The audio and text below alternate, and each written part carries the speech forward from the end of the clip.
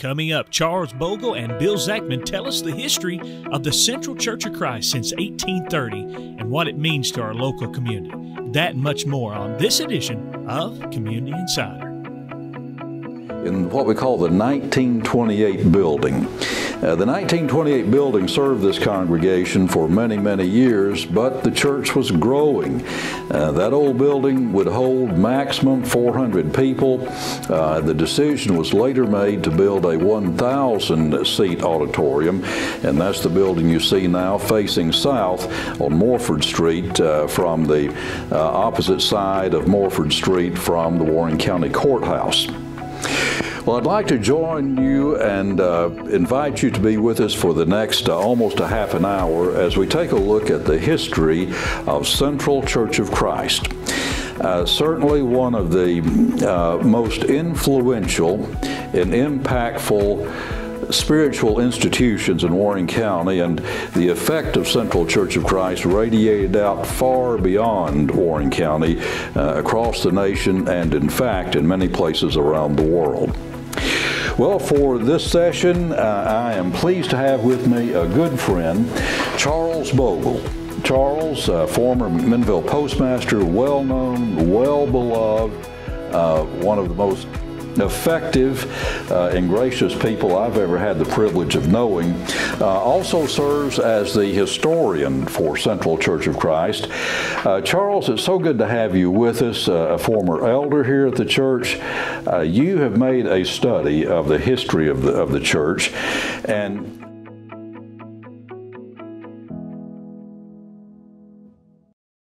Community TVTN is brought to you by Security Federal Savings Bank proudly serving the community we call home. Grace Family Pharmacy announces new medication packaging service.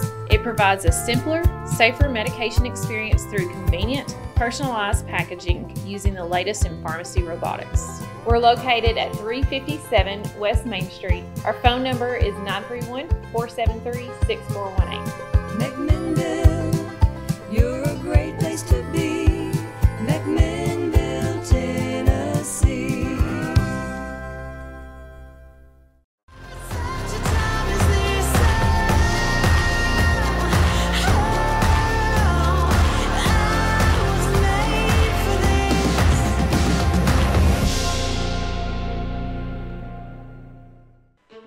Community Network Productions takes you inside each community with local interest stories, local music artists, and information.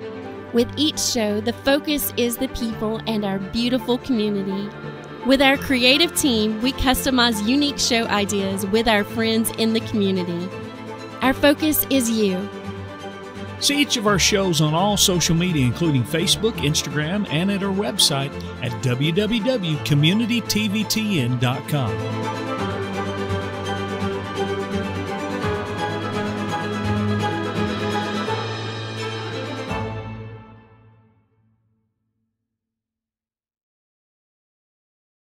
The My Usage app is a way to conveniently pay online, anytime, day or night. You can also come by any Caney Fork Electric office and sign up for the prepay option available using the My Usage app. Know exactly how much electricity is used each day and the cost. Best of all, no monthly bill. You can set up email or text alerts, keep track of your usage, and pay your bill, all with the My Usage app from Caney Fork. Caney Fork Electric, keeping you informed.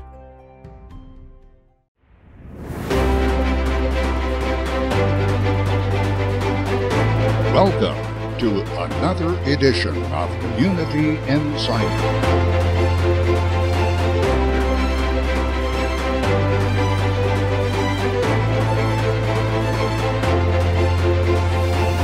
Join us as we travel Middle Tennessee, uncovering history and experiencing the adventure of unique stories and events coming to you inside your community.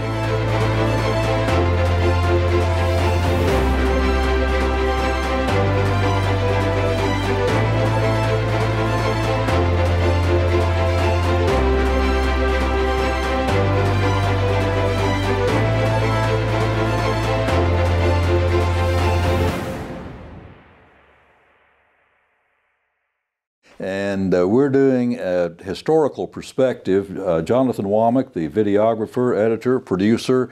This is Bill Zechman. My guest for this segment is Charles Bogle, uh, who is, I guess, by definition or by default, the historian for Central Church of Christ. I know about that. But, uh, but this, thank you for the compliment. Uh, well, uh, you keep up with the history, and somebody needs to do that. And I can't imagine anybody better than better than Charles to do it. Uh, but we're looking for a final product of 25 minutes. Uh, for uh, distribution through whatever channels and also for the Central Church of Christ archives. So if everybody is ready to go, let me get my timer. Where'd the timer go? Okay. This is Bill Zechman, uh, one of the lifelong members here at Central Church of Christ. Has been known as the downtown church with the open door.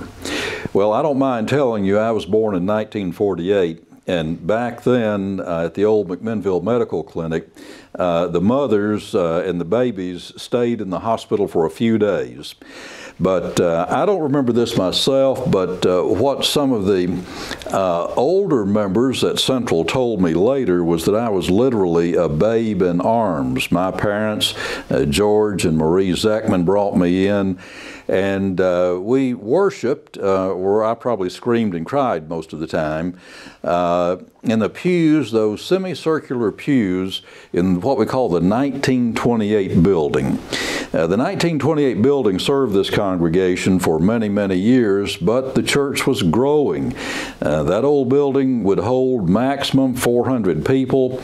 Uh, the decision was later made to build a 1,000 seat auditorium, and that's the building you see now facing south on Morford Street uh, from the uh, opposite side of Morford Street from the Warren County Courthouse. Well, I'd like to join you and uh, invite you to be with us for the next uh, almost a half an hour as we take a look at the history of Central Church of Christ. Uh, certainly one of the uh, most influential and impactful spiritual institutions in Warren County, and the effect of Central Church of Christ radiated out far beyond Warren County, uh, across the nation, and in fact, in many places around the world. Well, for this session, uh, I am pleased to have with me a good friend, Charles Bogle. Charles, uh, former McMinnville postmaster, well known, well beloved, uh, one of the most effective uh, and gracious people I've ever had the privilege of knowing, uh, also serves as the historian for Central Church of Christ. Uh, Charles, it's so good to have you with us, uh, a former elder here at the church. Uh, you have made a study of the history of the, of the church. And just to get things started, I'd like to go back to the very beginning. The year was 1830. Uh, this was the time when we, we go back to the first meeting of record of Central mm-hmm. Church of Christ, what became Central Church of Christ. Uh, it was in the former Warren County Courthouse. Now, not the present courthouse, but that old courthouse sat in the middle of what is now the downtown McMinnville Park, the diamond shaped park. Uh, Sandy E. Jones was the first preacher. Uh, do you remember anything about the literature from the time, the history of the time, of what he preached about? Sandy Jones. Well, I can just tell you that uh, says he preached his uh, first sermon here. Uh, that was a great gospel sermon taken from Acts 10, verses 34 and 35. Okay. Uh, from that uh, humble beginning, from that modest beginning uh, in borrowed facilities, the Warren County Courthouse, uh, the, the church grew numerically and spiritually. Uh, more and more people were interested. this is that part of American history during this time is what some of the historians call the Second Great Awakening. there was a uh, just a groundswell of spiritual fervor uh, in the nation, uh, sort of a, a, turning to the Bible, uh, and basically a, a, reformation of a lot of uh, personal morality. Uh, and maybe public morality. Of course, that had its ups and downs along the way. But after that beginning, uh, the, the church continued to grow. But it was growing into the antebellum era, the era just before the outbreak of the Civil War. So, what was Central Church of Christ? What came to be known as Central Church of Christ? Uh, what was going on at that time in the community uh, and in the church? Well, I'm not sure I could could uh, tell you that much about it. it. Just it just says from the history here that during the Civil War, at the uh, meeting house, and, and, basically, if I understand it correctly, it was more like a house, mm-hmm. just for assembling together. That it deteriorated extensively, and so at the close of the conflict, uh, such members as H.L. Walling, Jonathan Logue, J.T. Webb, and others repaired the building and the regular Lord's Day worship then was renewed. So, you know, there was just a they they were just really searching to, to be able to come together mm-hmm. and uh, to really form the church, uh, and you know, bringing in new members. Well, the war destroyed so much, and what it right. didn't destroy, it, it, definitely disrupted. That we know from our experience uh, over the past um, two and a half plus years with the COVID 19 pandemic, how every facet of life, including church life here at Central, was disrupted and in a, in a, in a big way sort of knocked sideways, and we're still in the recovery phase after that. Um, in in the Church of Christ here, Central Church of Christ, would it be fair to say? Would you would you guess that there were, um, of course, Confederates, but also some Union sympathizers?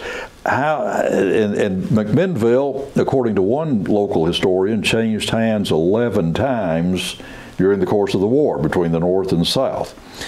Uh, it was a rail heading right. uh, at the time, which made it valuable, uh, very, very valuable. Uh, so, uh, how, how, did how did Central Church of Christ come out on the other side after after Appomattox, uh, the end of the war in, in April 1865?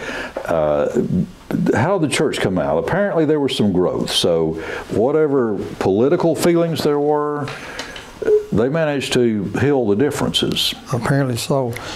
One of the things that uh, I think is very interesting is that David Lipscomb played a very prominent role in reinvigorating the brethren here and, and for the church to begin to, to, to actually grow. In fact, it mentions that after Ben Franklin of Cincinnati, Ohio, held a two week meeting in 1867 it helped that helped the church to really unify and grow, really beginning to grow, so to speak, here. Yeah, uh, maybe the war experience uh, with so many families losing a son, uh, a father, a brother. Uh, in the conflict, plus all the economic disruption. Uh, they're having their farms virtually wiped out, uh, destroyed, their, their livelihoods destroyed. Maybe there was a searching for some higher value, some some spiritual value that transcended the, the material loss that they suffered. Right. Well, I'm sure that I'm sure that that would be true. And uh, maybe from time to time we have these traumatic experiences, whether individually or, or as a society, and uh, and and we want to go back. Um, uh, according to uh, a, a, white paper, this was uh, done uh, by Perry Cotham and uh, and some some others. We'll, we'll, give credit for that uh, in our production. Perry C. Cotham. Um, the the church at that time had a membership right after the war of about 30, but it grew to more than 100. Right. In fact, that's some pretty rapid growth. Right. I think it mentions here that that actually the 175 seat red brick building was erected in January through October the 1st of 1878. Mm-hmm. So that was that meant that you know they were really making some progress. Yeah, when you outgrow your your that, meeting facilities, you're, you're right. making progress. Uh, Cotham's paper points out that uh, some of the leaders in the project uh, to build that bigger building were Jesse Walling, W.P. Faulkner, O.M. Thurman, J.C. Martin, uh, W.E.B. Jones, um, and uh, resulted in a 175 seat uh, red brick building uh, starting uh, in October. The construction started in October of 1878, uh, but it faced west. Was it on this same lot or was it in a different location? Now that, that I, I really couldn't answer for sure. Mm, okay. Uh, some of the successor buildings were on this right, lot, but there right. was one uh, whose facade is, is, reminiscent of First Presbyterian Church here. It look, they look very much the same. Mm-hmm. So you might guess that the same architects were involved and they just rolled out uh, the same plans for different uh, uh church customers. But uh, at that time, it was not known as the Church of Christ because the sign over the door said Church of God. Right.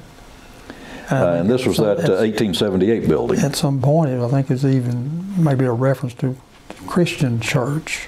Okay. Also. Okay. So just like a living language changes over time, even even labels uh, can change over time uh, as, as they did. Uh, Cotham's paper says that evangelist T.B. Larimore held a uh, six-week meeting in 1896, immersed 115 precious souls into Christ. Uh, what would happen in 2022 if you held a gospel meeting for six weeks? You probably your attendance would probably be would be going down rather than increasing. well, However, uh, there have been instances where a meeting would be scheduled for one week, and because it had gone real well, it would be extended maybe a day or two or, or 3 mm-hmm. And then I think in Morrison, at one time, I use that as, as an example, it may have ended up being more than two weeks yeah. extension. Yeah. Uh, there was this thing called the brush arbor uh, meetings, apparently under a tree. It, do I have that right? Well, I have actually seen one, and it was built out of trees, kind okay. of woven together. Okay. Or you had a you had a covering of trees that were placed. You know, they may have used some wire underneath it, you know. Okay. But but basically, that was the brush arbor. So sort of a temporary building built with uh, materials close at hand. They didn't go to Lowe's to get their building exactly materials. They just chopped it down in the woods. Uh, in the year 1902, we have a record that says membership reached 400 in 1902. That's pretty good. Okay. So 120 years ago, the membership was 400. Uh, things uh, things changed uh, over time. Uh, the pulpit minister at that time in 1902 was J. Paul Sladen. Uh, the elders were W.S. Dad Lively. That was the famous photographer. Right. Uh, and, and community leader, uh, Dr. A.J. Trail, and Tom Mason. Uh, things things continued to grow, and then we had the 1928 building, and I made reference to that when we started the 1928 building, where I kind of grew up and uh, but that uh, had had 400 seats. Uh, that wasn't going to be quite adequate, so it was in. Um, 1972 uh, up through October of 1973 that the present building was built uh, with a nameplate capacity of about a thousand. thousand you'd, you'd, have to put them in here with a shoehorn if you got a thousand in here. It would right. be tight. I think we are on record of saying, and I believe I'm right, on 2003, our gospel gospel meeting, that we had the largest attendance in the new auditorium of 930. Hmm, 930. 930. I can remember that, uh, but we had to have uh, folding chairs out in the aisles. Right. I'm sure the fire marshal would have a, have an issue with that, but well, probably the largest kind of, probably the largest uh, audience we've had in the building was for a funeral for a, mm. a, really popular young lady who graduated from Warren County High School, I was attending Motlow and had an accident. And we put chairs out again. And, and by the way, the, the larger part of the audience was young folks attending, and you still needed additional seating. Mm. So we, we, we, estimated it probably reached the thousand. Oh, okay. Even though they weren't for a funeral for counted. yeah po- popular popular young lady who died tragically. Sure did. Uh, we were talking before we, we started this uh, video recording. Uh, you have a copy of the church directory from 1952. I would have been four years old. Uh, when you dialed up the number for the office at Central Church of Christ, what number did you dial? 374 dash X. Now, I'm not sure if you actually dialed that or if you still had an operator. You told the operator. Give me, what was it? Three seven four. Three seven four. Three seven four. X. Okay. The era of the three digit phone numbers. That was 1952. Okay. Uh, does your directory tell us who the pulpit uh, preacher was and the elders at the time? Well, it does. Alan Fye was the minister at that time. And um, see, I, I think it mentions the, the elders at that time were uh, R.G. Hutchins, O.L. Hammer, Grady Womack, F.C. Boyd Sr., and Tom Cale. Uh, all now deceased. That's, that's, that would be correct. Yeah. Uh, throughout history, uh, there have been some of the major leaders uh, in in the in the history of Central Church of Christ, and uh, a lot of that has been documented and, and preserved for history.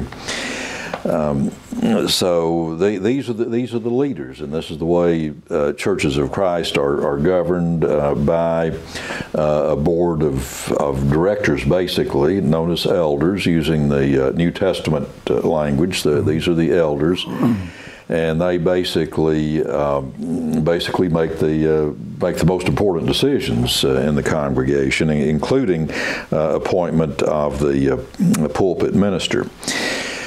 Central, I think I said in the introduction, Central had a really an outsized impact in this community uh, and in many places uh, around the world through missionary efforts. But but right here in Warren County, I think Charles, you have actually identified uh, five congregations that were essentially spawned by Central Church of Christ. Five additional congregations, so that is a lot of influence. That's a lot of impact on the community. It, it, really is. If what the history says is that that in the past, and, and we're using the time of this writing, that in the past 30 years, that uh, Central has has uh, given, and this is the term it's used, is given some of the charter members to five other congregations.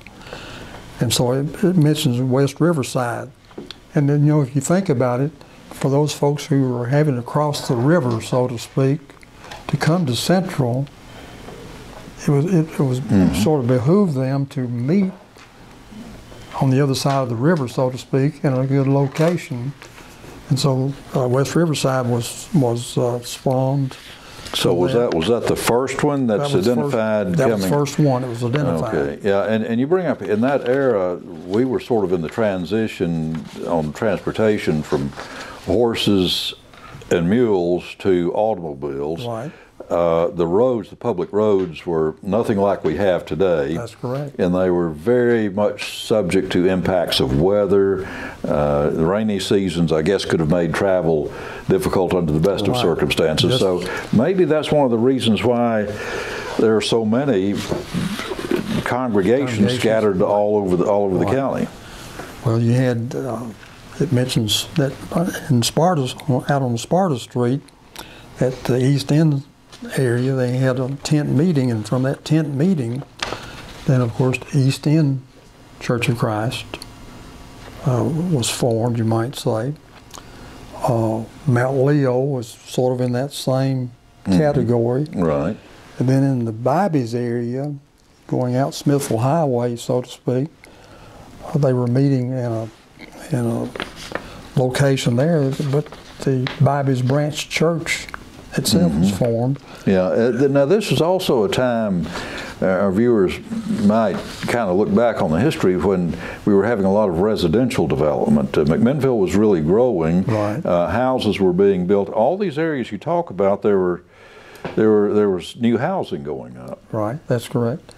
And then, of course, the last congregation, of course, would be Westwood. and, and basically, uh, West, a lot of the members, in fact, uh, uh, one of the elders, I think, left and went to be a part of the Westwood Church of Christ. Mhm. Well, The, the Boyd family, right. the Boyd family played a very large, Right. uh, a very large. But they had been meeting in a packing barn of the Boyd Nursery, Hmm. and then then erected their new auditorium yeah. uh, in, in 50, 1952. Yeah. Uh, I don't have a record of all of the, uh, in front of me, of all of the uh, overseas missions, domestic and overseas missions that uh, Central Church of Christ has contributed to. Uh, but the church uh, financially supports these and sometimes supports the, uh, the missionaries, the, the, the ministers, the Right. preachers who go out. Uh, the church has also supported Christian education uh, for uh, young young men in in the church related colleges and universities to help them uh, on their way toward a career as Right. uh, Church of Christ preachers. He, uh, sometimes to the universities, or sometimes to preachers preacher schools, hmm and then uh, had two missions. One in Galax, Virginia, in the 60s, 60s and 70s. Right. It, it became self-sufficient, hmm and then also in Hazard, Kentucky, Yes. in the 90s, and it became self-sufficient. So, uh, so it's always been a good mission work. Yeah. Well, you know, over 2,000 years, this idea of going out, you know, that's what the Apostle Paul was doing, and he he was the to, to borrow a term from our friends in the in the Roman Catholic community, he was the iconic apostle to to bring uh, to bring the good news of the gospel of Jesus Christ to sometimes some places that seemed very unlikely, very uh, inhospitable to the Christian message. And uh, Paul would true. just wade right in. Uh, I, I, I take a back seat to no one in my admiration and amazement at the Apostle Paul's, uh, I guess you might say, well, number one, his faith, his faith in, in Jesus Christ, but maybe his audacity he would uh, he would take on he would take on all doubters, all skeptics, all comers, and uh, but he planted he planted the seeds. It's amazing what he endured. Yeah, it, it's absolutely amazing. Uh, so we here in the year 2020 have it pretty good when we come into a air conditioned or in the winter nicely heated building, sit on uh, padded uh, pews and That's right. uh, have nice electric lights, uh, sound amplification, and everything as far as creature comforts. Uh, but this is this is a far cry from what it was back in the year 1830 when Sandy E. Jones preached the first First gospel. gospel sermon. Yeah, Don't really know the, the history behind how he even arrived here. Mm-hmm. But we're thankful that he did. yeah. Well, from uh, little acorns, mighty oak trees grow, and I, I think that's certainly been been the, been the fact with Central Church of Christ. Uh, so many things we could cover, but time is limited. Uh, and I, I appreciate your sharing your thoughts and uh, your your information with us. Uh, so important to keep these things uh, in our memory. And if they're not recorded in print form or, or video or some electronic form, uh, they can easily be lost. That's true. Well, it's, it's hard to believe that when we think about it, 1830, this is 192 years. So we're eight years away from a, a milestone Mhm. if the good Lord allows it to happen Yeah, with 200 years. 200 years coming up, almost within sight. Almost. Almost. Well, it, it will be a, it will be a cause for rejoicing. Any institution that can stand for 200 years has got something going for it. We've Yeah. been very blessed. Yeah, come through the Civil War, through two World Wars, the Korean War, Vietnam War, uh, the Great Depression, and the COVID nineteen pandemic. so, so what, what else? What else is out there? Charles Bogle, I thank you so much. I, I consider a you a, a, a wonderful pleasure. friend. You and uh, your your your wonderful wife Rosine. Thank you for your service to Well, not just this church but to the community. She, she's been very instrumental in, in work here at Central. Very interesting. Uh, as a as a retired elder, you might give a shout out to elders' wives because they're back home doing a lot of the work That's- where the well, elders are out taking care of church I work. always gave her a lot of uh, credit, and I still do. I'd come home sometimes, and she'd have all these notes. She was very good to Oh yeah, keep keep keep me abreast of what was happening, She- she or what would- someone was asking about, yeah. or Yeah, she would give you my need to call. telephone messages. she would. Charles Bogle. Uh, I want to thank Charles and uh, thanks to our viewers um, for this uh, special video production, uh, taking a look at this point in time uh, back on the history of Central Church of Christ, dating its origins to 1830. This is Bill Zechman for the Central Church of Christ.